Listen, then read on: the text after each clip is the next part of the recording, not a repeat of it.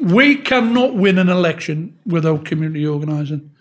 It was an absolute disgrace, the attack that the community organisers uh, were under.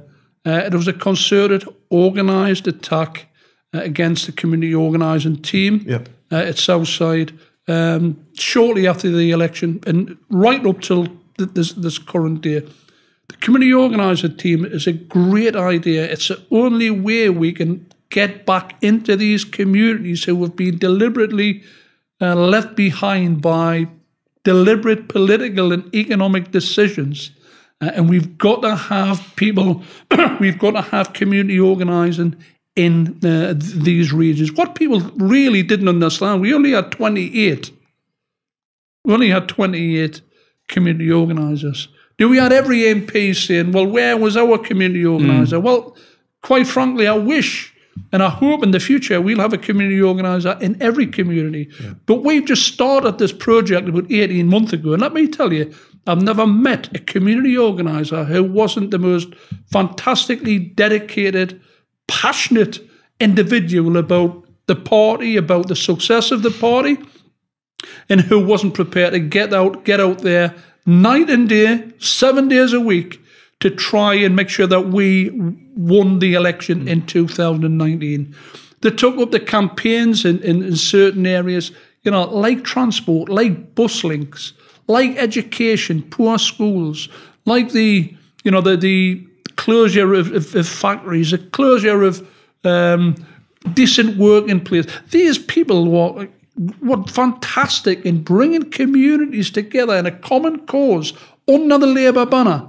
Now, these were, it was essential. Uh, and as you said before, this sort of thing takes years, years, so you can have a demonstrable sort of analysis. But the, the, the critique on community organising has been unfair. It's been uh, an attack from certain individuals. I'll tell you, we cannot win an election without building the community organising team and having lots more than 28 community organisers on the field. How else, what better to win back a community than having somebody in that community speaking to, to people, building a team up there, giving them that trust that they want, giving them respect that they need, and you know, turning that into a political advantage for the party. What worries me is that I see it sort of being uh, criticised by the right of the party. They don't even know what it is. The same thing happened with Arnie Graf when Ed Miliband brought him over ahead of 2015, community organizer from the US. It was briefed to the Sun, I believe, that he didn't have the right work documentation. Yeah, that's true. And then you think, so this is not just even a Corbyn thing. This is just about a certain kind of politics. We don't want that. That's not welcome in the Labour Party. Well, look, I think this goes right to the heart of what we are. And I think, look, at the beginning of the Labour movement, there were contending ideas about how we should structure ourselves. We ended up with a, Fabian structure. It's top down, hierarchy, command and control. And people think that's how you win elections. But we're not, it's not like we're building an army to fight a war. This is about changing a country uh, in the most dramatic way possible.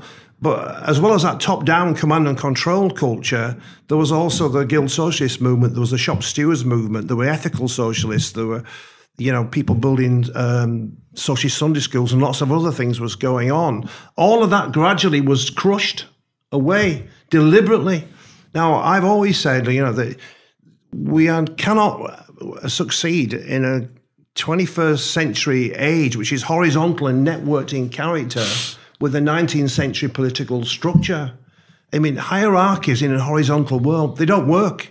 I remember when we were told under Ed Miliband, though it wasn't Ed, but it was the people who got rid of Arnie Graf who said, we instruct you to make 5 million conversations between now and the election.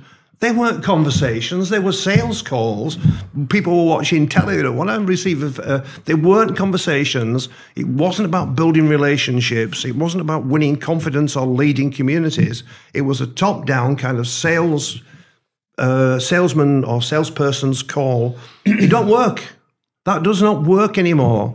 So we got to understand if we're going to re- tackle laborism, old top-down laborism uh, that we've got to do things differently. And so the philosophy underlying the community organisers, it works with the zeitgeist, 21st century zeitgeist, and it and it probably says from the beginning we should have trusted the, the shop stewards movement and the guild socialists and all those people that were crushed away, the Marxists and the others that were in the party, the Christian socialists. None of them wanted that top-down approach.